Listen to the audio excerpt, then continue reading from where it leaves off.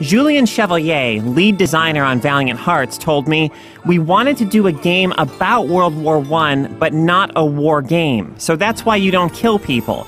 The war kills them, but you don't kill them. It's a game that puts a human face on war, focusing on how World War I impacted the lives of ordinary people.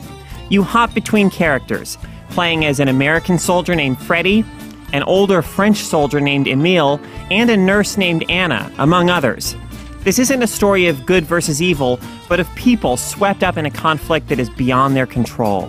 Valiant Hearts isn't all tragedy and sorrow. It makes time for moments of sweetness and exuberance. A cute dog helps you solve many of the game's simple puzzles, and your interactions with him may bring a smile to your face despite the devastation the characters have experienced. And in one inspired sequence, Anna drives through the bustling streets of Paris as you navigate obstacles that appear in rhythm with the music. It's a joyous moment. The simple gameplay aims to communicate the ordinary nature of the characters.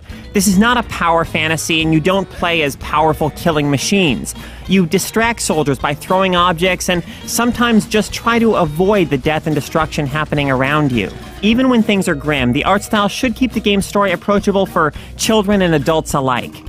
Valiant Hearts will be released on June 25th for Xbox One, Xbox 360, PlayStation 3, PlayStation 4, and PC.